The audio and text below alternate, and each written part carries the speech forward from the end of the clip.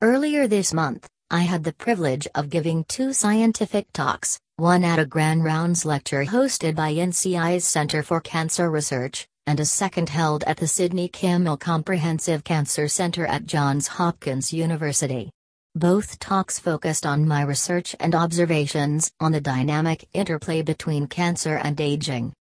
The experience reminded me of two things. First, I love talking about science with other scientists and experts, and I hope to do much more of that during my tenure here at NCI. Second, from my perspective as the NCI director, who must take a broad view of this and all research areas that the Institute funds, there is no question that we need more than just a deeper understanding of how the biological changes seen in aging are related to, and can help give insights into, the biology of cancer. Indeed, people's age affects everything from the type of treatments they can or should receive, their eligibility and ability to participate in clinical trials, and their ongoing needs after completing treatment. In short, like many of the research areas NCI supports, the nexus of age and cancer is a complex topic with no simple answers. An aging population. Thanks to improvements in health care, Life expectancy in both the United States and globally is substantially longer now than it was 50 years ago. In 2010, more than 40 million people in the United States, or 13% of the population, were older than age 65. This demographic, the fastest growing segment of the population, will more than double to nearly 84 million, or more than 20% of the population, by 2050. The convergence of an overall aging population and a peak cancer incidence among those aged 65 to 74 will result in a significant rise in the number of people diagnosed with cancer. Cancer also occurs at a high rate in people older than 75, but at that age people are more likely to die from other medical conditions. It's clear that we need to better understand how the biological underpinnings of aging affect the onset and trajectory of cancer to address this looming public health challenge. Aging is a risk factor for cancer. Age is a well recognized risk factor for cancer development. In fact, you could say aging is the major carcinogen. So, while I'll admit I like the Rolling Stones, not all their lyrics translate well to the scientific arena. When it comes to cancer, time is not on our side. The normal aging process affects many important biological processes within our bodies that result in the deterioration of proteins and DNA in cells. Many of these damaged cells enter a state of arrested growth, called senescence, no longer dividing and growing, but still remaining metabolically active and capable of causing problems. Senescence is an efficient protective mechanism against cancer, forcing would-be cancer cells to stop dividing.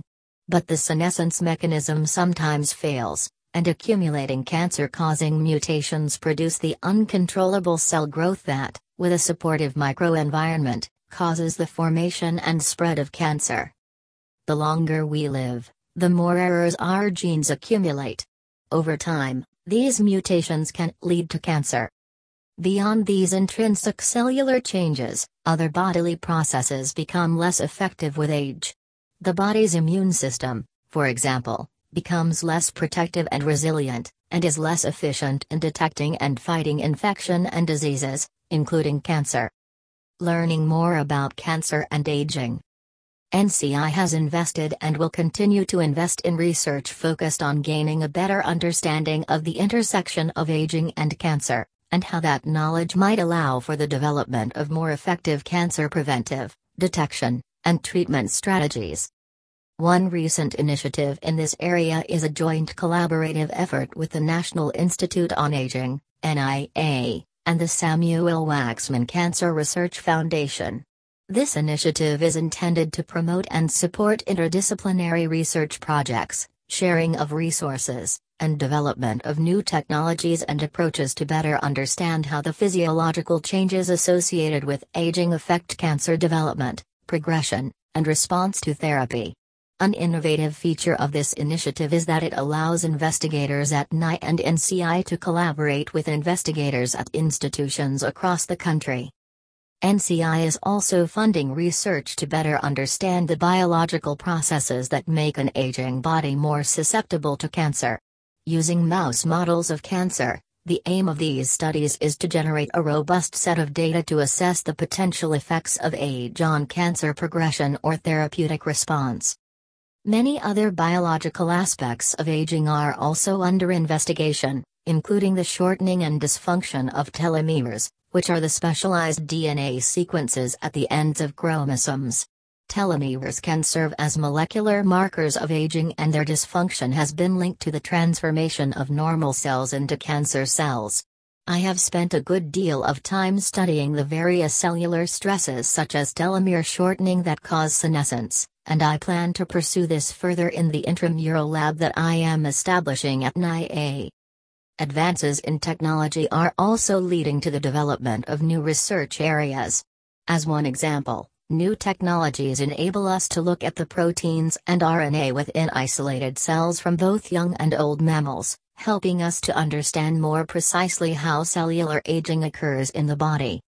Studies of human genetic diseases are also helping to improve our understanding of the relationship between aging and cancer. Progerias, genetic conditions associated with accelerated aging, may, for example, offer clues to unraveling this relationship. People with Hutchinson-Gilford progeria syndrome, HGPS, appear to have a decreased risk of cancer, whereas people with Werner syndrome, a form of progeria that occurs in adults, have higher cancer rates. A recent discovery by NCI researchers of a cellular pathway involved in HGPS may help improve our understanding of the normal aging process and lead to strategies to slow the effects of aging on tumor development. Other promising approaches to help shed light on cancer and aging include genome wide association studies, GWAS, that involve analyzing DNA from hundreds of people. Such analyses have, for instance, identified factors that regulate cellular senescence. Other studies have built on these findings, including one linking a rare genetic mutation seen in Amish populations that appears to restrict cellular senescence without increasing the risk of cancer. Treating cancer in older patients. Beyond the research lab, improvements in cancer treatments have presented their own challenges. Treating older cancer patients, who often have other health conditions, may limit the use of specific therapies, Clinicians may be reluctant to give older patients potentially beneficial therapies because there isn't enough evidence to show that the standard dosage can be safely administered or that the treatment is likely to improve survival in this age group. This practice of less intensive therapy in older patients is historically understandable. But many in the growing field of geriatric oncology now consider chronological age to be just a number. Instead, they focus on patients' physiological age, as determined via geriatric assessment exit disclaimer, as a better predictor of whether a patient should receive aggressive cancer therapy. Several trials supported by the NCI Community Oncology Research Program, NCORP, in fact, are working to address these issues. One recently launched trial, for example, is testing whether a geriatric assessment can help reduce the side effects of cancer treatment toxicity in older patients. A second trial that will soon launch will test the drug palbociclib, Ibrance registered, specifically in women 70 and older with metastatic breast cancer. Expanding clinical trial eligibility to include older cancer patients. Indeed, there is much still to learn about providing the best treatment to the growing population of older cancer patients, who have unique health and psychosocial needs. An ongoing dilemma is the limited data from clinical trials on patients over the age of 65. It's been a catch 22, because the only way to get the evidence that supports the use of these therapies in older patients is to include them in clinical trials but older adults have been underrepresented in clinical trials. Exit disclaimer. Currently, only about 40% of patients in clinical trials are 65 or older, and fewer than 10% are 75 or older, even though more than half of cancers are diagnosed in patients older than 65. NCI is committed to enrolling more older patients in clinical trials. One way we are doing this is by placing a special emphasis on enrolling older patients, including those with other health conditions, in NCORP supported trials. Trials that focus on improving supportive care and quality of life are also critical to conduct. These could, and should, enroll older patients. Staying the course while embracing opportunities. NCI Director Dr. Norman E. Sharpless. Credit National Institutes of Health. It's clear that the challenges in understanding the relationship between aging and cancer are daunting. But significant progress has been and continues to be made. There's no question that more work is needed. As is the case across the spectrum of much of the research that NCI supports, I believe that nurturing a collaborative interdisciplinary framework that brings scientists with diverse perspectives to the table will lead to more comprehensive research and, ultimately, will provide us with the answers we are seeking. Ours is an exciting time in cancer research. Which is why I'm looking forward to the opportunity during my tenure as NCI Director to oversee and accelerate discoveries, not just in aging and cancer, but also in the many other important and exciting scientific areas that NCI supports.